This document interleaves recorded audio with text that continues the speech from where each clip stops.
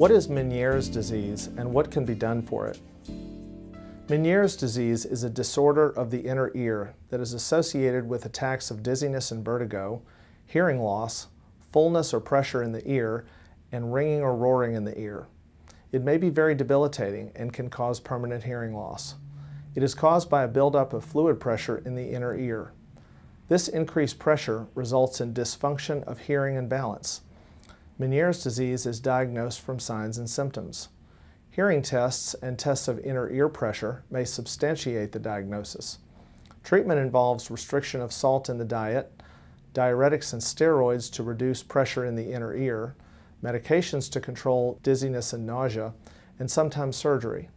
When conservative treatment is unsuccessful in controlling symptoms, a procedure known as intratympanic perfusion may be helpful, which involves injections of medications into the middle ear to control vertigo.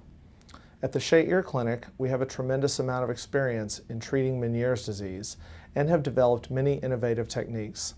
If you or one of your loved ones has Meniere's disease, I encourage you to pay us a visit. Thank you.